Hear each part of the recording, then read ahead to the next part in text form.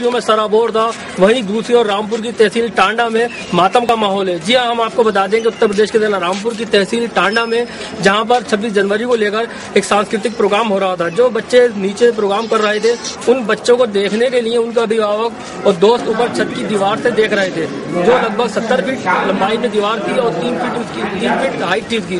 جس کو دیکھنے کے چکر میں زیادہ لوگ ہوئے پوری پوری دیوار نیچے گر گئی۔ اس دیوار کے چکر میں جتنے بھی بچے نیچے پروگرام کر رہے تھے، سارے کے سارے بچے دب گئے، جس میں کہ تین بچوں کی موقع پہ ہی موت ہو گئی اور باقی ساٹھ کے لگ بھگ زخمی ہے اور یہاں کے لوگوں کا یہ بھی کہنا ہے کہ جب یہاں کے زخمی لوگ ہم نے یہاں کے پی ایچ سی میں لے کر کے گئے، تو وہاں پر ڈاکٹر نے انہیں بنا دیکھے ہی بولے، ان کو یہاں سے لے جاؤ۔ اور یہاں پر کوئی بھی انتظام نہیں ہے۔ اگر ڈاکٹر چاہتے تو یہاں پر جو دو تین بچے کی موت ہوئی ہے، وہ بچ سکتے تھے، تین گھر کے چراغ بچا سکتے تھے۔ رامپور سے my city news twenty four کے لیے آدم خان۔ محمد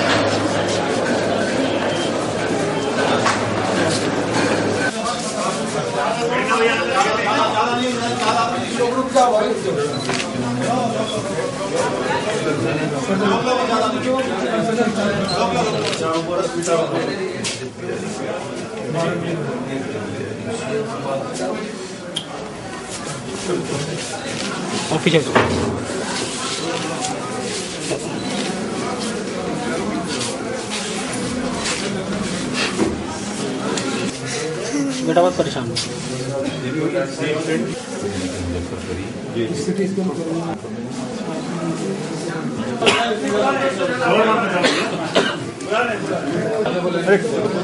ڈرپ آپ کی ٹپک رہی ہے جی، سر؟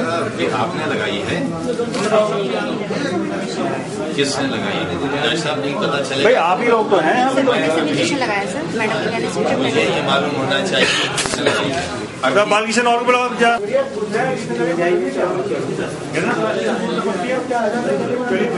کس نے لگائی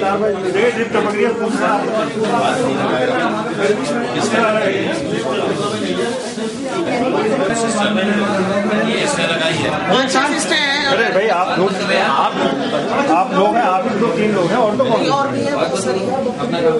ان دونوں میں سے ایک ہے بتائیے کون ہے؟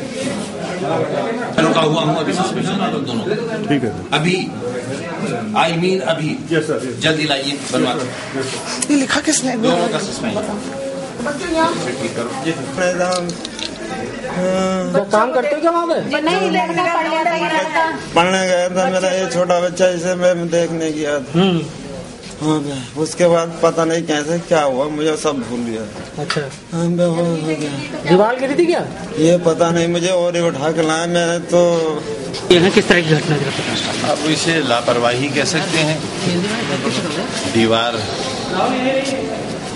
پر اتنا بوجھ آ گیا۔ پردے کی دیوار تھی اس پر اتنا بوجھ آ گیا کہ وہ دیوار گر گئی۔ کچھ لوگ اس دیوار کے ساتھ گرے ہوں گے اوپر سے اینٹیں نیچے گری ہیں تو ظاہر ہے بارہ چودہ فٹ سے اینٹیں گریں گی بہت افسوسناک واقعہ ہے۔ جو گھائل ہیں ان کے ان کے لیے کیا سمچت پربند کرنے کی ضرورت ہے اب جن کے سر کی چوٹ ہے ان کو کیٹ اسکین کے لیے فوراً بھیج رہے ہیں۔ اگر باہر بھی بھیجنا ہوگا تو۔ اب اس وقت یہاں آپ دیکھ رہے ہیں بھیڑ اتنی ہے تماشوین کی۔ بجائے اس کے کہ مریض کی مدد کی جائے۔ کھیل تماشا بنائی لے رہے ہیں۔ تو تھوڑا سا سہولت کو ان کا۔ دیکھیے اب کہا تو بہت سخت ہے لیکن دیکھتے ہیں کتنی غلطی ہے اتنی ہی سزا۔ جو بچے زخمی ہوئے ان کو سرکار کوئی مدد کرنے کا یہ مدد ہے کہ علاج کریں؟ بہت اچھا علاج کریں۔ مدد ہے۔ فوری طور پر تو اسی کی ضرورت ہے کہ ان کا بہترین علاج ہو، جن کی جان چلی گئی ہے۔ افسوس ہے، باقی کوئی جان نہ جائے۔ جن کی جان چلی گئی ان کو